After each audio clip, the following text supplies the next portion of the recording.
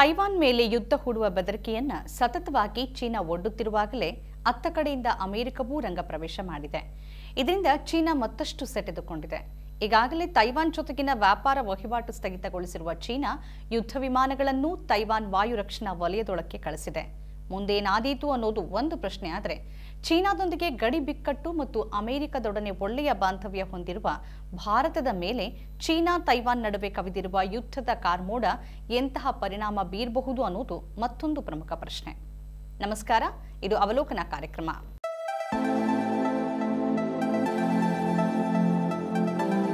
Communist China ತನ್ನ ಪೂರ್ವ ಕರಾವಳಿಯ ಪುಟ್ಟ ಪ್ರಜಾಪ್ರಭುತ್ವ ದ್ವೀಪ ತೈವಾನನ್ನ ಸ್ವಾಧೀನಪಡಿಸಿಕೊಳ್ಳುವ ಬೆದರಿಕೆ ಹಾಕ್ತಾ ಇದೆ. ಇವೆರಡರ ನಡುವಿನ ಸಂಬಂಧ ಆಗಾಗ್ಗೆ ಪ್ರತಿಕೂಲ ಸ್ವರೂಪ ಪಡಿತಾನೆ ಇರುತ್ತೆ. ಇದು ಅಮೆರಿಕ, ಭಾರತ ಮತ್ತು ಇಂಡೋ ಪೆಸಿಫಿಕ್ ಪ್ರದೇಶದಲ್ಲಿನ ಒಟ್ಟಾರೆ ಶಾಂತಿ ಮತ್ತು ಭದ್ರತೆಯನ್ನ ಕದಡುವಂತದ್ದಾಗಿದೆ. ಸದ್ಯ ತೈವಾನ್ ಸುತ್ತ ವಾಯುನೆಲೆ ಮತ್ತು ಸಮುದ್ರ ನೆಲೆಗಳಲ್ಲಿ ಚೀನಾ ಖಂಡಾಂತರ ಕ್ಷಿಪಣಿಗಳು ಸೇರಿದಂತೆ ತನ್ನ ಸೇನಾ ಬಲವನ್ನ ಬಹುದೊಡ್ಡ ಪ್ರಮಾಣದಲ್ಲಿ ಪ್ರದರ್ಶನ ಮಾಡತೊಡಗಿದೆ. ಈ ಹಿನ್ನೆಲೆಯಲ್ಲಿನೇ ಅಮೆರಿಕ ಸ್ಪೀಕರ್ ನ್ಯಾನ್ಸಿ ಪೆಲೋಸಿ ತೈವಾನ್ಗೆ ಭೇಟಿ ನೀಡಿದ್ದೂ ಆಗಿದೆ. ತೈವಾನ್ ಮತ್ತೆ ತನ್ನ ನಿಯಂತ್ರಣಕ್ಕೆ ಒಳಪಡಬೇಕು ಅನ್ನೋದು ಚೀನಾ ಹವಣಿಕೆಯಾದರೆ ತಾನು ಪ್ರಜಾಪ್ರಭುತ್ವ ಆಡಳಿತವುಳ್ಳ, ತನ್ನದೇ ಸಂವಿಧಾನವನ್ನು ಇರುವ ಸ್ವತಂತ್ರ ರಾಷ್ಟ್ರ ಅನ್ನೋದು ತೈವಾನ್ ನಿಲುವು. ಆದರೆ ಚೀನಾ ಅಧ್ಯಕ್ಷ ಕ್ಸಿ ಜಿನ್ಪಿಂಗ್ ಮಾತ್ರ ಪುನರ್ ಏಕೀಕರಣದ ಮಾತನ್ನ ಆಡ್ತಿದ್ದಾರೆ. ಅದು ಆಗಲೇಬೇಕು ಎಂತಿರುವ ಅವರು, ಅದನ್ನ ಸಾಧಿಸೋಕೆ ಅಗತ್ಯ ಬಿದ್ದರೆ ಸೇನಾ ಬಲವನ್ನೂ ಬಳಸೋಕೆ ಹಿಂಜರಿಯೋದಿಲ್ಲ ಅನ್ನೋ ಎಚ್ಚರಿಕೆಯನ್ನ ಕೊಟ್ಟಿರೋದು ಉದ್ವಿಗ್ನತೆಯನ್ನ ಮತ್ತಷ್ಟು ಹೆಚ್ಚಿಸಿದೆ. ಪೆಲೋಸಿ ಭೇಟಿ ಬೆನ್ನಲ್ಲೇ ತೈವಾನ್ ಮೇಲೆ ವ್ಯಾಪಾರ ನಿರ್ಬಂಧ ಹೇರಿದ್ದ ಚೀನಾ ತನ್ನ ಸಾರ್ವಭೌಮತ್ವವನ್ನು ಧಿಕ್ಕರಿಸಿದ ನಡೆ ಅಂತ ಪೆಲೋಸಿ ಭೇಟಿಯನ್ನ ವ್ಯಾಖ್ಯಾನಿಸಿ ಅಮೆರಿಕ ವಿರುದ್ಧ ಕೆಂಡಕಾರಿದೆ ಕೆಲವೇ ಗಂಟೆಗಳ ಈಚಿನ ಬೆಳವಣಿಗೆ ಏನು ಅಂದರೆ, ಅಮೆರಿಕ ಜೊತೆಗಿನ ಹಲವು ಒಪ್ಪಂದಗಳನ್ನು ಮುರಿದುಕೊಳ್ಳೋದಾಗಿ ಘೋಷಿಸಿರುವ ಚೀನಾ ಅಮೆರಿಕದೊಂದಿಗಿನ ರಕ್ಷಣಾ ಕ್ಷೇತ್ರದಲ್ಲಿನ ಸಹಕಾರವನ್ನೂ ಕೊನೆಗಾಣಿಸಿದೆ. ಇದೇ ವೇಳೆ ಈಗಾಗಲೇ ತೈವಾನ್ ಸುತ್ತ ತಾನು ನಡೆಸ್ತಾ ಇರುವ ಸೇನಾ ತಾಲೀಮನ್ನ ಚೀನಾ ತೀವ್ರಗೊಳಿಸಿದ್ದು ಮತ್ತಷ್ಟು ಸೇನಾ ಬಲ ನಿಯೋಜಿಸುವ ಮಾತನ್ನಾಡಿದೆ. ಚೀನಾದ ಈ ನಡೆಗೆ ಪ್ರತಿಕ್ರಮಗಳು ಅಮೆರಿಕ ಮತ್ತದರ ಮಿತ್ರ ರಾಷ್ಟ್ರಗಳಿಂದ ಬರುವ ಸಾಧ್ಯತೆಯನ್ನ ಅಲ್ಲಗಳಿಯಲಿಕ್ಕೆ ಆಗುವುದಿಲ್ಲ. ಈಗಿನ ಈ ಬೆಳವಣಿಗೆಗಳ ಹಿನ್ನೆಲೆಯಲ್ಲಿ ತೈವಾನ್ ಕುರಿತು ಕೆಲವು ಪ್ರಾಥಮಿಕ ವಿಚಾರಗಳನ್ನು ನಾವು ಗಮನಿಸೋದಾದರೆ, ತೈವಾನ್ ದ್ವೀಪ ಇರೋದು ಆಗ್ನೇಯ ಚೀನಾ ಕರಾವಳಿಯಿಂದ ಸುಮಾರು ನೂರು ಮೈಲಿಗಳಷ್ಟು ದೂರದಲ್ಲಿ. ಫಿಲಿಪೈನ್ಸ್ ದಕ್ಷಿಣ ಕೊರಿಯಾ, ಜಪಾನ್ಗಳಿರುವ ಫಸ್ಟ್ ಐಲ್ಯಾಂಡ್ ಚೈನ್ನಲ್ಲಿನೇ ತೈವಾನ್ ಕೂಡ ಬರುತ್ತೆ. ಅಮೆರಿಕದ ವಿದೇಶಾಂಗ ನೀತಿಯ ವಿಚಾರದಲ್ಲಿ ಅತ್ಯಂತ ನಿರ್ಣಾಯಕವಾದ ಅಮೆರಿಕ ಸ್ನೇಹಿ ಭೂಪ್ರದೇಶಗಳನ್ನು ಒಳಗೊಂಡಿರೋದೇ ಈ ಫಸ್ಟ್ ಐಲ್ಯಾಂಡ್ ಚೈನ್ ತೈವಾನನ್ನ ಚೀನಾ ತನ್ನ ವಶಕ್ಕೆ ತೆಗೆದುಕೊಂಡ್ರೆ ಪಶ್ಚಿಮ ಪೆಸಿಫಿಕ್ ವಲಯದಲ್ಲಿ ತನ್ನ ಕಾರ್ಯಯೋಜನೆ ಜಾರಿಗೊಳಿಸೋಕೆ ಅದು ಮುಕ್ತವಾಗಲಿದೆ ಮತ್ತು ಅಮೆರಿಕ ಸೇನಾ ನೆಲೆಗೂ ಹೊಡೆತವಾಗುವ ಸಾಧ್ಯತೆ ಇದೆ ಅನ್ನೋದು ಪರಿಣಿತರ ಅಭಿಮತ. ಫಾರ್ಮೋಸಾ ಅಂತ ಮೊದಲು ಕರೆಯಲ್ಪಡುತ್ತಾ ಇದ್ದ ತೈವಾನ್ ದ್ವೀಪ ಪೂರ್ವ ಚೀನಾ ಸಮುದ್ರದಲ್ಲಿದೆ. ಹಾಂಗ್ಕಾಂಗ್ನ ಈಶಾನ್ಯಕ್ಕೆ, ಫಿಲಿಪೈನ್ಸ್ನ ಉತ್ತರಕ್ಕೆ, ದಕ್ಷಿಣ ಕೊರಿಯಾದ ದಕ್ಷಿಣಕ್ಕೆ ಮತ್ತು ಜಪಾನ್ನ ನೈಋತ್ಯದಲ್ಲಿದೆ. ತೈವಾನ್ ಮತ್ತು ಸುತ್ತಮುತ್ತ ನಡೆಯುವ ಯಾವುದೇ ನಕಾರಾತ್ಮಕ ಬೆಳವಣಿಗೆಗಳು ಪೂರ್ವ ಏಷ್ಯಾದಾದ್ಯಂತ ಆಳವಾದ ಕಳವಳಕ್ಕೆ ಕಾರಣ ಆಗುತ್ತೆ. ಚೀನಾದಿಂದ ತೈವಾನ್ ಯಾವಾಗಲೂ ಪ್ರತ್ಯೇಕವಾಗಿತ್ತ ಅನ್ನೋದನ್ನ ನೋಡೋದಾದ್ರೆ ಹಾಗಿಲ್ಲ ಅನ್ನತ್ತೆ ಇತಿಹಾಸ. ಹದಿನೇಳನೇ ಶತಮಾನದಲ್ಲಿ ಕ್ವಿಂಗ್ ರಾಜವಂಶಸ್ಥರ ಆಳ್ವಿಕೆ ಚೀನಾದಲ್ಲಿದ್ದ ಕಾಲದಲ್ಲಿ ತೈವಾನ್ ಸಂಪೂರ್ಣವಾಗಿ ಚೀನಾ ನಿಯಂತ್ರಣಕ್ಕೇನೆ ಒಳಪಟ್ಟಿತ್ತು. ಮೊದಲ ಚೀನಾ ಜಪಾನ್ ಯುದ್ಧದಲ್ಲಿನ ಸೋಲಿನ ಬಳಿಕ ಸಾವಿರದ ಎಂಟುನೂರ ತೊಂಬತ್ತೈದರಲ್ಲಿ ಚೀನಾ ತೈವಾನನ್ನ ಜಪಾನ್ಗೆ ಬಿಟ್ಕೊಡ್ತು. ಎರಡನೇ ಜಾಗತಿಕ ಯುದ್ಧದಲ್ಲಿ ಜಪಾನ್ ಸೋತಾಗ ಸಾವಿರದ ಒಂಬೈನೂರ ನಲವತ್ತೈದರಲ್ಲಿ ತೈವಾನನ್ನ ಚೀನಾ ಪುನಃ ತನ್ನ ವಶಕ್ಕೆ ತೆಗೆದುಕೊಳ್ತು. ಚೀನಾದಲ್ಲಿ ಕ್ಯುಮಿಂಟಾಂಗ್ ಎಂದು ಗುರುತಿಸಲಾಗುವ ಚಿಯಾಂಗ್ ಕೈಶೇಕ್ ನೇತೃತ್ವದ ರಾಷ್ಟ್ರೀಯವಾದಿ ಪಕ್ಷ ಮತ್ತು ಮಾವೋ ಜೆಡಾಂಗ್ನ ಕಮ್ಯುನಿಸ್ಟ್ ಪಕ್ಷದ ಮಧ್ಯೆ ಸ್ಫೋಟಗೊಂಡ ಅಂತಃಕಲದಲ್ಲಿ ಸಾವಿರದ ಒಂಬೈನೂರ ನಲವತ್ತೊಂಬತ್ತರಲ್ಲಿ ಕಮ್ಯುನಿಸ್ಟರು ಬೀಜಿಂಗ್ ಅನ್ನ ಗೆದ್ದುಕೊಂಡ ಬಳಿಕ ತೈವಾನ್ನಲ್ಲಿ ನೆಲೆ ಕಂಡುಕೊಂಡ ಕ್ಯುಮಿಂಟಾಂಗ್ ಪಕ್ಷ ಮುಂದಿನ ಹಲವು ದಶಕಗಳವರೆಗೆ ತೈವಾನನ್ನು ಆಳ್ತು. ತೈವಾನ್ನ ಒಂದು ಮಹತ್ವದ ಐತಿಹಾಸಿಕ ಭಾಗವಾಗಿ ನೆಲೆಯೂರಿರುವ ಕ್ಯುಮಿಂಟಾಂಗ್ ತೈವಾನ್ನ ಅತಿ ಪ್ರಮುಖ ರಾಜಕೀಯ ಪಕ್ಷಗಳಲ್ಲಿ ಒಂದಾಗಿದೆ.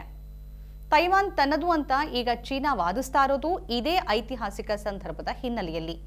ತೈವಾನ್ ಕೂಡ ಇದೇ ಅಂಶವನ್ನ ಆಧರಿಸಿನೇ ತಾನೆಂದೂ ಸಾವಿರದ ಒಂಬೈನೂರ ಹನ್ನೊಂದರಲ್ಲಿ ಕ್ವಿಂಗ್ ರಾಜವಂಶದ ಪದಚ್ಯುತಿಗೆ ಕಾರಣವಾದ ಕ್ರಾಂತಿಯ ಬಳಿಕ ರಚನೆಯಾದ ಆಧುನಿಕ ಚೀನಾದ ಭಾಗವಾಗಲಿ ಅಥವಾ ಸಾವಿರದ ಒಂಬೈನೂರ ನಲವತ್ತೊಂಬತ್ತರಲ್ಲಿ ಮಾವೋನಿಂದ ಸ್ಥಾಪನೆಯಾದ ಪೀಪಲ್ಸ್ ರಿಪಬ್ಲಿಕ್ ಆಫ್ ಚೈನಾದ ಭಾಗವಾಗಲಿ ಆಗಿರಲೇ ಇಲ್ಲ ಅಂತ ವಾದಿಸ್ತಾ ಇದೆ. ಪ್ರಪಂಚದಾದ್ಯಂತ ಕೇವಲ ಹದಿನೈದು ದೇಶಗಳು ತೈವಾನ್ ಅನ್ನ ಸಾರ್ವಭೌಮ ರಾಷ್ಟ್ರ ಅಂತ ಗುರುತಿಸುತ್ತೆ. ಅವುಗಳಲ್ಲಿ ಹೆಚ್ಚಿನವು ಬಹಳ ಚಿಕ್ಕವು ಮತ್ತು ಹಲವು ದೂರದ ದ್ವೀಪ ರಾಷ್ಟ್ರಗಳು. ಚೀನಾ ಮತ್ತು ತೈವಾನ್ ನಡುವಿನ ಈಗಿನ ಉದ್ವಿಗ್ನತೆ ಶುರುವಾಗಿದ್ದು ಕಳೆದ ವರ್ಷ ಅಕ್ಟೋಬರ್ ಒಂದರಂದು. ಪೀಪಲ್ಸ್ ರಿಪಬ್ಲಿಕ್ ಆಫ್ ಚೀನಾ ಉದಯವನ್ನು ಗುರುತಿಸೋಕೆ ಚೀನಾ ಅಕ್ಟೋಬರ್ ಒಂದರಂದು ರಾಷ್ಟ್ರೀಯ ದಿನವನ್ನು ಆಚರಿಸುತ್ತೆ. ಎಪ್ಪತ್ತೆರಡನೇ ವಾರ್ಷಿಕೋತ್ಸವದ ಆಚರಣೆ ವೇಳೆ ಚೀನಾ ನೂರು ಫೈಟರ್ ಜೆಟ್ಗಳನ್ನು ತೈವಾನ್ನ ವಾಯು ರಕ್ಷಣಾ ಗುರುತಿನ ವಲಯಕ್ಕೆ ಹಾರಿಸಿತು. ಈ ಮೂಲಕ ದ್ವೀಪವನ್ನ ಬಲವಂತವಾಗಿ ವಶಪಡಿಸಿಕೊಳ್ಳೋಕೆ ಸಿದ್ಧತೆ ನಡೆಸುವ ಎಚ್ಚರಿಕೆ ಕೊಡ್ತು. ಫೆಬ್ರವರಿಯಲ್ಲಿ ಉಕ್ರೇನ್ ಮೇಲಿನ ಆಕ್ರಮಣಕ್ಕಾಗಿ ಟೀಕೆಗೆ ಒಳಗಾಗಿದ್ದ ವೇಳೆ ರಷ್ಯಾಕ್ಕೆ ಬೀಜಿಂಗ್ ದೃಢವಾದ ಬೆಂಬಲವನ್ನು ಸೂಚಿಸಿದ ಬಳಿಕವಂತೂ ತೈವಾನ್ ಸಂಬಂಧದ ಚೀನಾ ನಿಲುವು ಆತಂಕಕ್ಕೆ ಎಡೆ ಮಾಡಿದೆ. ಉಕ್ರೇನನ್ನ ನಿಯಂತ್ರಣದಲ್ಲಿ ಇಟ್ಕೊಳ್ಳೋಕೆ ರಷ್ಯಾ ಹವಣಿಸ್ತಾ ಇರುವ ಮಾದರಿಯಲ್ಲಿನೇ ತೈವಾನನ್ನ ವಶಪಡಿಸಿಕೊಳ್ಳೋಕೆ ಚೀನಾ ಯೋಚಿಸ್ತಿದೆ ಅನ್ನೋದು ಇಂತಹ ದಿಗಿಲಿಗೆ ಕಾರಣ. ಎಲ್ಲವನ್ನೂ ಶಾಂತಿಯುತವಾಗಿಯೇ ನಿಭಾಯಿಸ್ತೇನೆ ಅಂತ ಹೇಳ್ತಿರುವ ಚೀನಾ ಆರ್ಥಿಕ ಸಂಬಂಧಗಳನ್ನು ಬಲಪಡಿಸುವ ಮಿಲಿಟರಿಯೇತರ ವಿಧಾನಗಳಿಂದಲೇ ಪುನರ್ ಏಕೀಕರಣಕ್ಕೆ ಪ್ರಯತ್ನ ಮಾಡಲೂಬಹುದು. ಒಂದು ವೇಳೆ ಅದು ಮಿಲಿಟರಿ ಮುಖಾಮುಖಿಗೆ ಮುಂದಾದ್ರೆ ಅದರ ಎದುರು ತೈವಾನ್ ಸಶಸ್ತ್ರ ಪಡೆ ಏನೇನೂ ಅಲ್ಲ ಅನ್ನೋದಂತೂ ನಿಜ. ಚೀನಾ ಅಮೆರಿಕವನ್ನ ಹೊರತುಪಡಿಸಿದರೆ ಯಾವುದೇ ದೇಶಕ್ಕಿಂತ ಹೆಚ್ಚು ಹಣವನ್ನು ರಕ್ಷಣೆಗಾಗಿ ಖರ್ಚು ಮಾಡುತ್ತೆ ಮತ್ತು ನೌಕಾಶಕ್ತಿಯಿಂದ ಕ್ಷಿಪಣಿ ತಂತ್ರಜ್ಞಾನ, ವಿಮಾನ ಮತ್ತು ಸೈಬರ್ ದಾಳಿಗಳವರೆಗೆ ಬೃಹತ್ ಶ್ರೇಣಿಯ ಸಾಮರ್ಥ್ಯಗಳನ್ನು ಉಳ್ಳದ್ದಾಗಿದೆ. ಇವೆರಡರ ಸೇನಾ ಬಲವನ್ನ ಗಮನಿಸೋದಾದ್ರೆ ಚೀನಾದ ಭೂಸೇನಾ ಬಲ ಒಂಬತ್ತು ಲಕ್ಷ ಅರವತ್ತೈದು ಸಾವಿರ, ತೈವಾನ್ನದ್ದು ಬರೀ ತೊಂಬತ್ನಾಲ್ಕು ಸಾವಿರ. ಚೀನಾ ನೌಕಾದಳ ಎರಡು ಲಕ್ಷ ಅರವತ್ತು ಸಾವಿರ, ತೈವಾನ್ನದ್ದು ನಲವತ್ತು ಸಾವಿರ. ಚೀನಾ ವಾಯುಪಡೆ ಬಲ ಮೂರು ಲಕ್ಷ ತೊಂಬತ್ತೈದು ಸಾವಿರ, ತೈವಾನಿನದ್ದು ಮೂವತ್ತೈದು ಸಾವಿರ. ಚೀನಾ ಮೀಸಲು ಪಡೆ ಐದು ಲಕ್ಷ ಹತ್ತು ಸಾವಿರ, ತೈವಾನಿನದ್ದು ಹದಿನಾರು ಲಕ್ಷ ಐವತ್ತೇಳು ಸಾವಿರ. ಚೀನಾ ಯುದ್ಧ ಟ್ಯಾಂಕರ್ಗಳು ಐದು ಸಾವಿರದ ನಾನೂರು, ತೈವಾನಿನದ್ದು ಆರುನೂರ ಐವತ್ತು. ಚೀನಾ ಯುದ್ಧ ನೌಕೆಗಳು ಮೂರು ಸಾವಿರದ ಇನ್ನೂರ ಇಪ್ಪತ್ತೇಳು, ತೈವಾನಿನದ್ದು ಐನೂರ ನಾಲ್ಕು. ಚೀನಾ ಸಬ್ಮರೈನ್ಗಳು ಐವತ್ತೊಂಬತ್ತು, ತೈವಾನಿನದ್ದು ನಾಲ್ಕು. ಚೀನಾದ ಯುದ್ಧ ಹಡಗುಗಳ ಸಂಖ್ಯೆ ಜಲಾಂತರ್ಗಾಮಿಗಳನ್ನು ಹೊರತುಪಡಿಸಿನೇ ಎಂಬತ್ತಾರು, ತೈವಾನಿನದ್ದು ಇಪ್ಪತ್ತಾರು. ಚೀನಾದ ಫಿರಂಗಿಗಳು ಒಂಬತ್ತು ಸಾವಿರದ ಎಂಟುನೂರ ಮೂವತ್ನಾಲ್ಕಕ್ಕೂ ಹೆಚ್ಚು, ತೈವಾನಿನದ್ದು ಎರಡು ಸಾವಿರದ ತೊಂಬತ್ಮೂರು ಮಾತ್ರ. ಆದರೆ ಯುದ್ಧವೇ ಶುರುವಾದರೆ ಚೀನಾ ಅಂದುಕೊಂಡಷ್ಟು ಸುಲಭವೇನೂ ಇಲ್ಲ. ಚೀನಾ ದಾಳಿ ನಡೆಸಬಹುದು, ಹಾನಿಗೆ ಕಾರಣವಾಗಬಹುದು. ಆದರೆ ತೈವಾನ್ ಸುಲಭವಾಗಿ ಸೋತು ಹೋಗತ್ತೆ ಅನ್ನೋದು ನಿಜವಲ್ಲ ಅಂತಾರೆ ಪರಿಣಿತರು. ಚೀನಾ ತನ್ನ ಅಗಾಧ ಬಲವನ್ನ ಪ್ರದರ್ಶಿಸೋಕೆ ಹೊರಟ್ರೆ ತೈವಾನ್ ಏನನ್ನೂ ತೋರಿಸಿಕೊಳ್ಳದೆಯೂ ಸಣ್ಣ ಸಣ್ಣ ಅಡಗಿಸಿಡಬಲ್ಲ ಶಸ್ತ್ರಾಸ್ತ್ರಗಳ ಮೂಲಕವೇ ಚೀನಾವನ್ನ ಎದುರಿಸಬಲ್ಲದು ಮತ್ತು ಅದರ ದಾಳಿಯನ್ನ ನಿಧಾನಗೊಳಿಸಬಲ್ಲದು. ಮಾತ್ರವಲ್ಲ, ಗೆರಿಲ್ಲಾ ಯುದ್ಧ ತಂತ್ರ ಕೂಡ ತೈವಾನಿನ ಕೈ ಹಿಡಿಯಲಿದೆ ಅನ್ನೋದು ತಜ್ಞರ ಅಭಿಪ್ರಾಯ. ಇವೆಲ್ಲದರ ಜೊತೆಗೆ ಸಂಭವನೀಯ ಚೀನಿ ಆಕ್ರಮಣದ ವಿರುದ್ಧ ರಕ್ಷಣೆಗಾಗಿ ತೈವಾನ್ಗೆ ಅಮೆರಿಕದ ಬೆಂಬಲವೂ ಸಿಗಲಿದೆ. ಹಾಗಾಗಿ ಚೀನಾ ಮತ್ತು ತೈವಾನ್ ನಡುವಿನ ಮಿಲಿಟರಿ ಉದ್ವಿಗ್ನತೆ, ವಾಷಿಂಗ್ಟನ್ ಮತ್ತು ಬೀಜಿಂಗ್ ನಡುವಿನ ಈಗಾಗಲೇ ಹದಗೆಟ್ಟ ಸಂಬಂಧ ಇನ್ನೂ ಹಗೆಯ ಸ್ವರೂಪ ಪಡೆಯುವುದಕ್ಕೆ ಕಾರಣವಾಗುವ ಸಾಧ್ಯತೆ ಹೆಚ್ಚಿದೆ. ವಾಷಿಂಗ್ಟನ್ನಿನ ಕಾರ್ಯತಂತ್ರ ಅಸ್ಪಷ್ಟತೆ ನೀತಿಯು ದಾಳಿಯ ಸಂದರ್ಭದಲ್ಲಿ ತೈವಾನ್ಗೆ ಅಮೆರಿಕದ ಬೆಂಬಲ ದೊರೆಯಲಿದೆಯೇ ಅನ್ನೋದನ್ನ ಗೊಂದಲದಲ್ಲಿಯೇ ಉಳಿಸುತ್ತೆ. ತೈಪೆಯೊಂದಿಗೆ ಸಂಬಂಧವನ್ನ ಹೊಂದಿದ್ದು, ಶಸ್ತ್ರಾಸ್ತ್ರಗಳನ್ನು ಪೂರೈಸಿದ್ರೂ ರಾಜತಾಂತ್ರಿಕವಾಗಿ ಅಮೆರಿಕ ಪ್ರಸ್ತುತ ಒಂದು ಚೀನಾ ನೀತಿಗೆ ಅಂಟಿಕೊಂಡಿದೆ. ಅದು ತೈವಾನ್ಗಿಂತ ಚೀನಾದೊಂದಿಗೆ ಔಪಚಾರಿಕ ಸಂಬಂಧವನ್ನ ಹೊಂದಿದೆ. ಟೋಕಿಯೋದಲ್ಲಿ ನಡೆದ ಕ್ವಾಡ್ ಶೃಂಗಸಭೆಯಲ್ಲಿ ಅಮೆರಿಕ ಅಧ್ಯಕ್ಷ ಜೋ ಬಿಡೆನ್ ತೈವಾನ್ ಮೇಲೆ ಆಕ್ರಮಣ ಮಾಡುವ ಚೀನಾದ ಯಾವುದೇ ಪ್ರಯತ್ನವು ಅಮೆರಿಕದ ಮಿಲಿಟರಿ ಹಸ್ತಕ್ಷೇಪಕ್ಕೆ ಎಡೆಮಾಡಿಕೊಡಲಿದೆ ಅಂತ ಹೇಳಿದ್ದರ ಬಳಿಕವೂ ಅಮೆರಿಕದ ದ್ವಂದ್ವಮುಖ ಗೊಂದಲವನ್ನೇ ಉಳಿಸಿತ್ತು. ಆದರೆ ಮೊನ್ನೆ America speaker Nancy Pelosi Taiwan ಭೇಟಿ ಅಮೆರಿಕ ಒಂದು ಸ್ಪಷ್ಟ ನಿಲುವಿಗೆ ಬಂದಿರುವುದರ ಸೂಚನೆಯಾಗಿದೆ. ಜಾಗತಿಕ ಒಗ್ಗಟ್ಟು ಮತ್ತು ಪ್ರಜಾಪ್ರಭುತ್ವದ ರಕ್ಷಣೆಯನ್ನ ಪ್ರತಿಪಾದಿಸಿರುವ ಪೆಲೋಸಿ ತೈವಾನ್ ಏಕಾಂಗಿಯಲ್ಲ ಅಂತ ನಿಖರ ಶಬ್ದಗಳಲ್ಲಿ ಹೇಳಿದ್ದಾರೆ. ಇಷ್ಟಾಗಿಯೂ ಚೀನಾ ಜೊತೆಗಿನ ಬಾಂಧವ್ಯ ಉಳಿಸಿಕೊಳ್ಳುವ ನಿಟ್ಟಿನಲ್ಲೂ ಶ್ವೇತಭವನದ ಕಸರತ್ತು ನಡೆಯುತ್ತಲೇ ಇರೋದ್ರಿಂದ ಅದು ಯಾವ ಘಳಿಗೆಯಲ್ಲಿ ತೈವಾನಿನ ಕೈ ಬಿಡತ್ತೆ ಅನ್ನೋದನ್ನ ಹೇಳೋಕ್ಕಾಗೋದಿಲ್ಲ ಅನ್ನೋ ಅಭಿಪ್ರಾಯಗಳು ಇವೆ. ತೈವಾನ್ ಜೊತೆಗಿನ ರಾಜತಾಂತ್ರಿಕ ಮತ್ತು ವಾಣಿಜ್ಯ ಸಂಬಂಧಗಳ ಜೊತೆಗೆ ಶಸ್ತ್ರಾಸ್ತ್ರ ಒದಗಿಸುವ ನಿಟ್ಟಿನಲ್ಲೂ ತೈವಾನ್ ಜೊತೆಗೆ ಅಮೆರಿಕ ಕಾಣಿಸಿಕೊಳ್ತಿದೆಯಾದರೂ ಚೀನಾದಂತೆಯೇ ಅಮೆರಿಕ ಕೂಡ ಯಾವುದೇ ಹಂತದಲ್ಲೂ ಕುಹಕ ಬುದ್ಧಿ ತೋರಿಸಿದ್ರೆ ಅಚ್ಚರಿ ಪಡಬೇಕಿಲ್ಲ. ಹಾಗಾಗಿ ನ್ಯಾನ್ಸಿ ಪೆಲೋಸಿ ತೈವಾನ್ ಭೇಟಿ ಯುದ್ಧದ ಹಂತ ಮುಟ್ಟುವ ಮೊದಲೇ ರಾಜತಾಂತ್ರಿಕ ನೆಲೆಯಲ್ಲಿ ಚೀನಾವನ್ನ ಕೊಂಚ ಭಯದಲ್ಲಿ ಇಡೋದರ ಭಾಗವಾಗಿ ಇದ್ರೂ ಇರಬಹುದು. ಯಾಕೆಂದ್ರೆ ತೈವಾನ್ನೊಂದಿಗೂ ಅದರ ಗಮನ ಆರ್ಥಿಕತೆಯ ಕಾರಣದಿಂದಾಗಿ ಸಂಬಂಧವನ್ನ ಉತ್ತಮವಾಗಿ ಇಟ್ಟುಕೊಳ್ಳೋದು ಅಮೆರಿಕಾಗೆ ಬೇಕಿದೆ. ತೈವಾನ್ನ ಇತ್ತೀಚಿನ ರಾಜಕೀಯ ಮತ್ತು ಆರ್ಥಿಕ ಸನ್ನಿವೇಶವನ್ನ ನೋಡೋದಾದ್ರೆ ಸಾವಿರದ ಒಂಬೈನೂರ ಎಪ್ಪತ್ತೈದರಲ್ಲಿ ಚಿಯಾಂಗ್ ಕೈಶೇಕ್ ನಿಧನದ ಬಳಿಕ ಸಮರ ಕಾನೂನನ್ನ ತೆಗೆದುಹಾಕಲಾಯಿತು. ಮತ್ತು ತೈವಾನ್ ತನ್ನ ಮೊದಲ ಪ್ರಜಾಪ್ರಭುತ್ವ ಸುಧಾರಣೆಗಳನ್ನು ಕಾಣ್ತು. ಸಾವಿರದ ಒಂಬೈನೂರ ತೊಂಬತ್ತರಿಂದ ಕ್ಷಿಪಣಿ ಬಿಕ್ಕಟ್ಟಿನ ಹೊರತಾಗಿಯೂ ಪಿಆರ್ಸಿ, ಅಂದರೆ ಪೀಪಲ್ಸ್ ರಿಪಬ್ಲಿಕ್ ಆಫ್ ಚೈನಾ ಹಾಗೂ ತೈವಾನ್ ನಡುವಿನ ಸಂಬಂಧಗಳು ಸುಧಾರಿಸಿದ್ವು. ವ್ಯಾಪಾರ ಸಂಬಂಧಗಳು ಶುರುವಾದವು. ಸಾವಿರದ ಒಂಬೈನೂರ ತೊಂಬತ್ತೊಂಬತ್ತರಲ್ಲಿ ಬ್ರಿಟಿಷರು ಹಾಂಗ್ಕಾಂಗ್ನಿಂದ ನಿರ್ಗಮಿಸೋಕೆ ತಯಾರಿ ನಡೆಸ್ತಾ ಇದ್ದಂತೆ ಒಂದು ಚೀನಾ ಎರಡು ವ್ಯವಸ್ಥೆಗಳು ಪರಿಹಾರವನ್ನ ತೈವಾನ್ಗೆ ನೀಡಲಾಯಿತು. ಆದರೆ ಅದನ್ನ ತೈವಾನ್ ತಿರಸ್ಕರಿಸಿತು. ಎರಡ್ ಸಾವಿರನೇ ಇಸವಿಯಲ್ಲಿ ತೈವಾನ್ ತನ್ನ ಮೊದಲ ಕ್ಯುಮಿಂಟಾಂಗ್ ಕೆಎಂಟಿಯೇತರ ಸರ್ಕಾರವನ್ನ ಪಡೆಯಿತು ತೈವಾನ್ ರಾಷ್ಟ್ರೀಯತಾವಾದಿ ಡೆಮಾಕ್ರಾಟಿಕ್ ಪ್ರೋಗ್ರೆಸಿವ್ ಪಾರ್ಟಿ ಅಧ್ಯಕ್ಷ ಸ್ಥಾನವನ್ನ ಗೆಲ್ತು. ಎರಡ್ ಸಾವಿರದ ನಾಲ್ಕರಲ್ಲಿ ಚೀನಾ ತೈವಾನ್ ಅನ್ನ ಗುರಿಯಾಗಿಟ್ಟುಕೊಂಡು ಪ್ರತ್ಯೇಕತಾ ವಿರೋಧಿ ಕಾನೂನನ್ನು ರೂಪಿಸೋಕೆ ಪ್ರಾರಂಭ ಮಾಡ್ತಾದ್ರೂ ವ್ಯಾಪಾರ ಮತ್ತು ಸಂಪರ್ಕವನ್ನ ಸುಧಾರಿಸೋಕೆ ಮುಂದಾಯಿತು.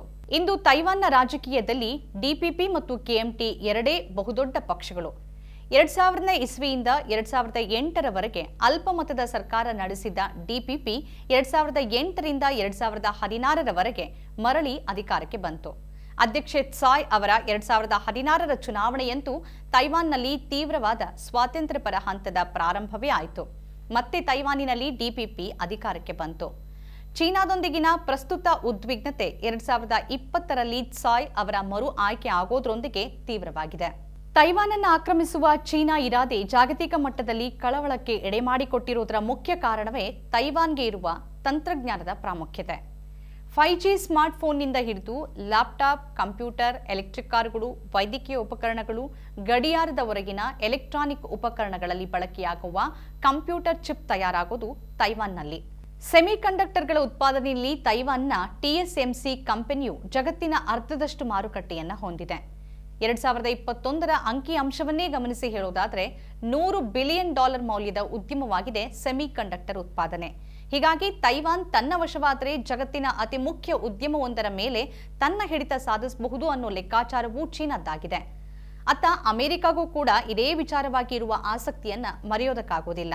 ತೈವಾನ್ಗೆ ನ್ಯಾನ್ಸಿ ಪೆಲೋಸಿ ಭೇಟಿ ವೇಳೆನೂ ಟಿಎಸ್ಎಂಸಿ ಕಂಪನಿಯ ಚೇರ್ಮನ್ ಜೊತೆಗಿನ ಮಾತುಕತೆಯೇ ಮುಖ್ಯವಾಗಿತ್ತು ಅನ್ನೋದನ್ನ ನಾವಿಲ್ಲಿ ಗಮನಿಸಬೇಕು. ಅಂದಹಾಗೆ ಇಲ್ಲಿ ಭಾರತಕ್ಕೆ ಸಂಬಂಧಪಟ್ಟ ವಿಚಾರನೂ ಇದೆ. ಭಾರತದಲ್ಲಿ ಚಿಪ್ ತಯಾರಿಕೆಯನ್ನ ಬೆಂಬಲಿಸುವ ಚಿಪ್ಸ್ ಅಂಡ್ ಸೈನ್ಸ್ ಆಕ್ಟ್ ಬಗ್ಗೆನೂ ಪೆಲೋಸಿ ಭೇಟಿ ವೇಳೆ ಚರ್ಚೆ ಆಗಿದೆ ಈಗಾಗಲೇ ಗೊತ್ತಿರುವಂತೆ ಭಾರತಕ್ಕೆ ಏಳು ಪಾಯಿಂಟ್ ಐದು ಬಿಲಿಯನ್ ಡಾಲರ್ ಸೆಮಿಕಂಡಕ್ಟರ್ ಚಿಪ್ ಉತ್ಪಾದನಾ ಘಟಕವನ್ನು ತರೋಕೆ ತೈಪೆಯೊಂದಿಗೆ ಭಾರತ ಮಾತುಕತೆ ನಡೆಸುತ್ತಿದೆ ಕಳೆದ ವರ್ಷದ ಕ್ವಾಡ್ ಶೃಂಗಸಭೆಯ ಹೊತ್ತಲ್ಲೇ ಇಂಥದ್ದೊಂದು ಒಪ್ಪಂದ ಆಗಿದೆ. ಈಗ ತೈವಾನ್ ಮೇಲೆ ಬಿದ್ದಿರುವ ಯುದ್ಧದ ಕಲಿನೆರಳು ಭಾರತದ ಮೇಲೂ ಪರಿಣಾಮ ಬೀರಲಿದೆಯೇ ಎನ್ನುವ ಪ್ರಶ್ನೆಯನ್ನ ಹುಟ್ಟುಹಾಕಿದೆ ಭಾರತ ಚೀನಾದೊಂದಿಗೆ ತನ್ನದೇ ಆದ ಸಮಸ್ಯೆಗಳನ್ನು ಎದುರಿಸುತ್ತಿರುವ ಹೊತ್ತಲ್ಲಿನ ಈ ಉದ್ವಿಗ್ನತೆ ಭಾರತದ ರಾಜತಾಂತ್ರಿಕ ಪ್ರತಿಕ್ರಿಯೆ ಹೇಗಿರಬೇಕು ಅನ್ನೋದು ಪ್ರಶ್ನೆನೇ. ಗಡಿಯಲ್ಲಿ ಭಾರತದ ನಿಲುವನ್ನು ಧಿಕ್ಕರಿಸುವ ಬಗೆಯಲ್ಲಿನ ಎರಡ್ ಸಾವಿರದ ಹತ್ತರ ನಂತರದ ಚೀನಾ ನಡೆ ಉಭಯ ದೇಶಗಳ ಸಂಬಂಧ ಹದಗೆಡುವಂತೆ ಮಾಡಿದೆ. ಆ ಬಳಿಕ ತೈವಾನ್ ಜೊತೆಗಿನ ಭಾರತದ ಬಾಂಧವ್ಯ ಚಿಗುರುಕೊಳ್ಳತೊಡಗಿರುವುದು ನಿಜ. ಭಾರತ ಮತ್ತು ತೈವಾನ್ ಪ್ರಸ್ತುತ ಪರಸ್ಪರರ ರಾಜಧಾನಿಗಳಲ್ಲಿ ವ್ಯಾಪಾರ ಮತ್ತು ಸಾಂಸ್ಕೃತಿಕ ವಿನಿಮಯ ಕಚೇರಿಗಳನ್ನು ನಿರ್ವಹಿಸುತ್ತಿವೆ ದ್ವಿಪಕ್ಷೀಯ ಹೂಡಿಕೆ ಒಪ್ಪಂದವು ಎರಡ್ ಸಾವಿರದ ಹದಿನೆಂಟರಲ್ಲಿ ದೆಹಲಿ ಮತ್ತು ತೈಪೆ ಮಧ್ಯೆ ಆಗಿದೆ. ಎರಡ್ ಸಾವಿರದ ಇಪ್ಪತ್ತರಲ್ಲಿ ಗಾಲ್ವಾನ್ ಗಡಿಯಲ್ಲಿ ಚೀನಾ ದುರಾಕ್ರಮಣದ ಬಳಿಕವಂತೂ ಭಾರತವು ತೈವಾನ್ ಜೊತೆಗಿನ ತನ್ನ ಬಾಂಧವ್ಯವನ್ನು ವೃದ್ಧಿಸಿಕೊಂಡಿದೆ. ತೈವಾನ್ನಿಂದ ಭಾರತ ಆಮದು ಮಾಡಿಕೊಳ್ಳುವ ಪ್ರಮಾಣವು ಎರಡ್ ಸಾವಿರದ ಇಪ್ಪತ್ತೊಂದು ಇಪ್ಪತ್ತೆರಡರಲ್ಲಿ ಗಣನೀಯವಾಗಿ ಏರಿದೆ. ಮತ್ತೊಂದು ಕಡೆ, ಅಮೆರಿಕದೊಂದಿಗಿನ ಭಾರತದ ಬಾಂಧವ್ಯವು ಇತ್ತೀಚಿನ ವರ್ಷಗಳಲ್ಲಿ ಸಾಕಷ್ಟು ಸುಧಾರಿಸಿದೆ. ಇಂತಹ ಸನ್ನಿವೇಶದಲ್ಲಿ ತೈವಾನ್ ಮೇಲಿನ ಚೀನಾ ದಾಳಿ ವಿಚಾರ ಮತ್ತೊಂದು ಕಡೆ, ಚೀನಾ ಅಮೆರಿಕ ನಡುವಿನ ಸಂಘರ್ಷವಾಗಿ ಬೆಳೆಯುವ ಸೂಚನೆಯೂ ಕಾಣಿಸ್ತಿರುವಾಗ ಭಾರತದ ನಡೆ ಎಚ್ಚರದ್ದಾಗಿರಬೇಕು ಅನ್ನೋ ಸಲಹೆಯು ಪರಿಣಿತರಿಂದ ವ್ಯಕ್ತವಾಗಿದೆ. ತೈವಾನನ್ನ ತನ್ನದಾಗಿಸಿಕೊಂಡೇ ಸಿದ್ಧಾಂತ ನಿಂತಿರುವ ಚೀನಾದ ನಡೆಯ ಹಿಂದೆ ಸೂಪರ್ ಪವರ್ ಆಗುವ ದುಡುಕು ಇದ್ದಂತಿದೆ. ಅದು ಇದೀಗ ತೈವಾನ್ ಸುತ್ತ ತನ್ನ ಸೇನಾ ಬಲದ ಮೂಲಕ ಅಬ್ಬರಿಸುತ್ತಿರುವ ರೀತಿ ನಿಜವಾದ ಯುದ್ಧವನ್ನ ಸಾರುವುದೋ ಅಥವಾ ದ್ವೀಪ ರಾಷ್ಟ್ರದಲ್ಲಿ ನಡುಕ ಹುಟ್ಟಿಸುವ ಬೆದರಿಕೆಯ ತಂತ್ರವೋ ಎಂಬ ಅನುಮಾನ ಕೂಡ ಕಾಡದೇ ಇರುವುದಿಲ್ಲ. ಅಮೆರಿಕ ಸೇರಿದಂತೆ ಪ್ರಬಲ ಎನಿಸಿಕೊಂಡ ರಾಷ್ಟ್ರಗಳ ರಾಜನೀತಿಯೊಳಗೆ ನೈತಿಕತೆ ಎಂಬುದು ಇಲ್ಲವಾಗ್ತಿರುವ ಕಾಲದಲ್ಲಿ ಚೀನಾದಂತಹ ದೇಶದ ಮನಸ್ಥಿತಿ ಎಂಥದ್ದಿದ್ದೀತು ಅನ್ನೋದು ಊಹಾತೀತವೇನೂ ಅಲ್ಲ. ಯುದ್ಧೋತ್ಸಾಹವು ಎಲ್ಲವನ್ನೂ ತಿಂದು ಹಾಕ್ತಿರುವ ಹೊತ್ತಿನಲ್ಲಿ ತೈವಾನಿನಂತಹ ಪುಟ್ಟ ರಾಷ್ಟ್ರಗಳು ತೋರುವ ಎದೆಗಾರಿಕೆ ಅಸಾಧಾರಣವಾದುದು ತೈವಾನ್ನಲ್ಲಿನ ಪ್ರಜಾಪ್ರಭುತ್ವವನ್ನು ಉಳಿಸುವ ನಿಟ್ಟಿನಲ್ಲಿ ವಿಶ್ವ ಸಮುದಾಯ ಹೇಗೆ ನಿಲ್ಲಲಿದೆ ಅನ್ನೋದನ್ನ ಮುಂದಿನ ದಿನಗಳಲ್ಲಿ ಕಾದು ನೋಡಬೇಕಿದೆ. ಮತ್ತಷ್ಟು ಈ ರೀತಿಯ ವಿಶೇಷ ಕಾರ್ಯಕ್ರಮಗಳು, ಚರ್ಚೆಗಳನ್ನು ತಾವು ನೋಡಬೇಕು ಅಂತಂದ್ರೆ ನಮ್ಮ ಚಾನೆಲ್ ಅನ್ನು ಸಬ್ಸ್ಕ್ರೈಬ್ ಮಾಡಿ, ಈ ಕಾರ್ಯಕ್ರಮದ ಬಗ್ಗೆ ತಮ್ಮ ಅನಿಸಿಕೆ, ಅಭಿಪ್ರಾಯಗಳನ್ನು ಕಮೆಂಟ್ ಮುಖಾಂತರ ತಿಳಿಸಿ. ನಮಸ್ಕಾರ.